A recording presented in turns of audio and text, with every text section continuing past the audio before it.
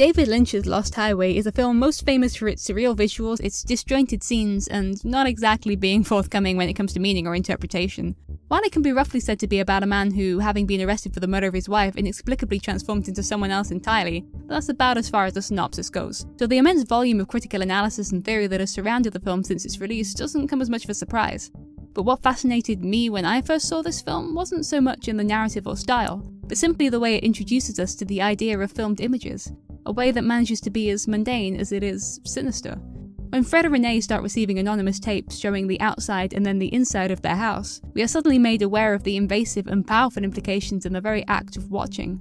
Lost Highway never gives any explanation for the tapes, or for anything actually. Like I said before, that's kind of its thing but its lack of coherence, while frustrating, reveals that what we are seeing is in fact not a fixed narrative at all, but instead a kind of visualization of more emotional processes. And so the crucial understanding here is that the film isn't so much concerned with reality or the truth, as it is with perception and perspective. In what is arguably the most revealing dialogue about both the tapes and the film as a whole, Fred, when explaining his dislike of video cameras, admits I like to remember things my own way how I remembered them, not necessarily the way they happened. This is commonly interpreted as evidence for the tapes being a symbol of reality, confronting Fred with the desires and insecurities he's suppressed. After all, this makes the most sense narratively. The tapes show Fred killing Renee, and while he has no memory of this, it does seem to be what happened. I mean, we saw it, right? But what if the relationship between the recorded image and reality isn't so straightforward? Connecting the tapes with reality, and subsequently the events of the film as mostly fabrication, might provide a much thought after answer to one of the film's many questions. But to criticise Fred for remembering things his own way, as this interpretation implies, would be to dismiss how our own perception and experience reflects in everything we remember, and how we're able to see the world.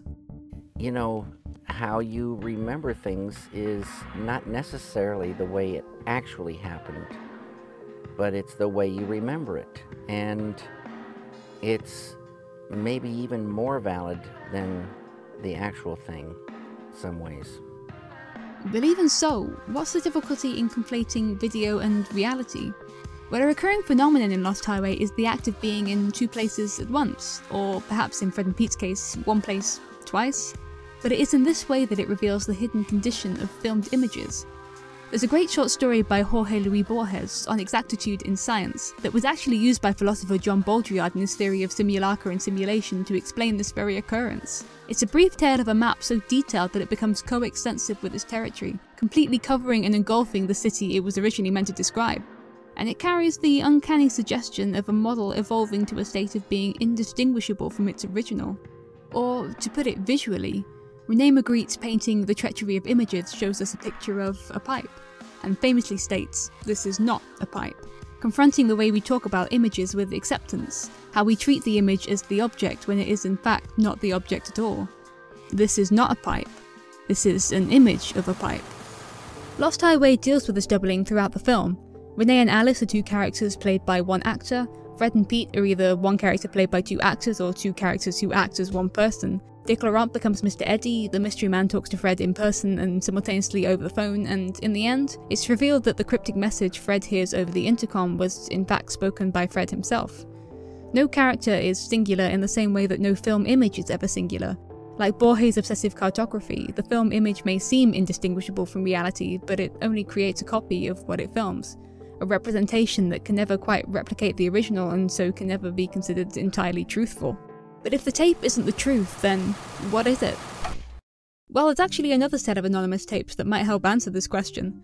Michael Haneke's Caché starts with a surprisingly familiar premise. A wealthy couple receive anonymous tapes to their house that seem increasingly menacing. But these similarities aren't so important here, rather just what it reveals about cameras, films, and perception just from its opening scene. This at first appears to be an establishing shot, but it's drawn out far longer than we've come to expect from cinema. This is because the scene is not establishing a setting at all, but is actually establishing a point of view. This technical confusion between establishing shot and point of view shot sets up what is essentially a confusion of identity and perspective. We are posed with the question, whose point of view is this? Whose perspective are we seeing? But we're not given an answer. Instead of following the cinematic rules showing the looker after the object, there's no reverse shot as we're so used to seeing. The looker is never revealed, and so there's no answer, no payoff. But what there is, is a revelation about how we might read subjective images as objective. It's easy to assume that video is objective, that it must show events the way they happened. We believe that Fred killed Renee because we saw it on video, but when we've seen so many doubles, how can we be sure that this is Fred? How can we be sure of anything we've seen, even on tape? An assertion of individual experience begins to emerge through questioning the capacity of film as a medium of documentation, acknowledging the fabricated condition of its product, but recognizing how, like Borges' extensive map of the empire, this fabrication can come to supplant reality. When Fred declares, I want to remember things my way, he identifies a contemporary state of anguish surrounding identity, fearing that the multiple doubles created in images make it increasingly difficult to be sure of who we are as we're filtered through different perspectives. And your name? What the fuck is your name? This brings us back to what is ultimately being asked throughout the film. Whose perspective are we seeing? Is the opening act distorted by Fred's perception? Is what follows only his fantasy? Can anything, even the videotapes, be considered objective truth? In a way, as with the mystery videographer in Caché, we spend the entire film waiting for this reveal, this reverse shot, but we never get a conclusive answer. But maybe this is because there was never one perspective to begin with. Instead, Lost Highway offers a negotiation of images and influences that invisibly shape identity who we are, who we want to be, or what we fear we might become. We like to think of the camera as something that reveals and that has an inherent objectivity, but despite Jean-Luc Godard's famous and temptingly quotable belief that film is truth 24 times a second, the very medium of film is built on deception. Fred's view of video cameras doesn't have to be an admission of denial, but can extend to a deeply held anxiety around the notion of identity. And it is this fear, rather than truth, that is reflected in the tapes.